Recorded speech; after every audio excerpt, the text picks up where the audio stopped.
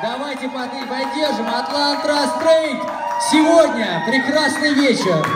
И подарок для наших мужчин.